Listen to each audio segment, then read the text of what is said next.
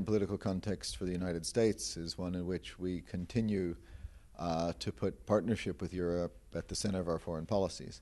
We rely on Europeans for so much that we're trying to do all around the world.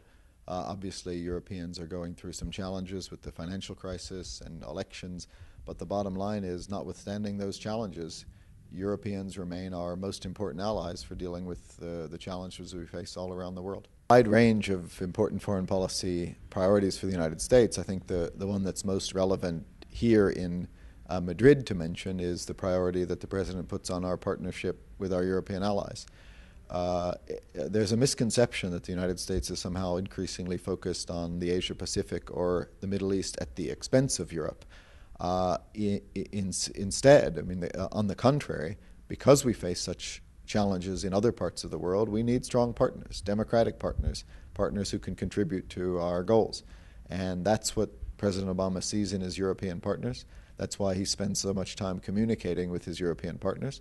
That's why Secretary Clinton is constantly in touch with uh, the European allies and is about to make her 30th trip to Europe uh, of the administration because we're working so extensively with Europeans on Iran, Afghanistan, Libya, Syria, and so much more. Well, NATO uh, is critical to the United States and I think to Europeans as a place where we can pool our resources and be stronger as a whole than we could be uh, individually. And now NATO's contributions go well beyond what it does within Europe uh, to other parts of the world. What NATO is doing in Afghanistan is indispensable to our common security. NATO played a critical role in Libya in saving human lives and getting rid of a, a dictator. It contributed to, uh, to stability in the Balkans. So uh, it's a central part of our foreign policy, and that's why President Obama will be proud to host uh, the summit in Chicago in just a couple of weeks to consolidate this, uh, this common project. Well, we certainly have a great stake in the outcome of the European economic situation. Europe is our most important trading partner. Uh, it's the place that invests the most in the United States and receives our investment. Uh, so it's critical to our own economic success, and that's why we're very much engaged. Europeans are also those who do so much around the world in supporting development and humanitarian situations and contribute to our common defense.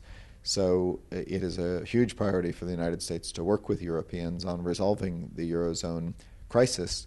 Uh, it's a complicated issue, but I think I can say uh, very briefly that we are encouraged by uh, some of the steps Europe has taken recently, whether it's the European Central Bank action or the measures taken by a number of governments, uh, including or especially uh, in Spain, but also in Italy and Greece and Portugal and Ireland, to consolidate their fiscal picture. Uh, the fiscal pact agreed by the members of the European Union, the uh, arrangements made with Greece, all of this, bit by bit, is contributing to a more sound economic future for Europe, which is in the interest of the United States. It's obviously a, a difficult and challenging time in the politics across Europe, and uh, and the budget cuts that are being made uh, uh, impose sacrifices. There's no question about it. But we believe uh, that these are in the long-term interests of Europe and of European public. The, the point of these cuts and consolidations is to create jobs and growth for the future. And it's up to European governments to explain why these measures are necessary. Uh, we're happy to help them do that. We want to show our support.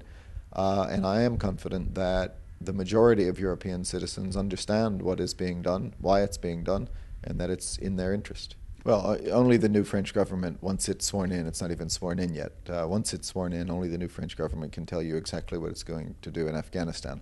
All I can say is why it's important from the United States' point of view uh, for all of those NATO and ISAF allies who have committed to sharing responsibilities in Afghanistan to uphold those responsibilities and stick to the plans that were agreed at the Lisbon summit and that we want to reiterate at the Chicago summit about continuing our operations as necessary through the end of 2014 so that we can hand off to stable uh, Afghan national security forces.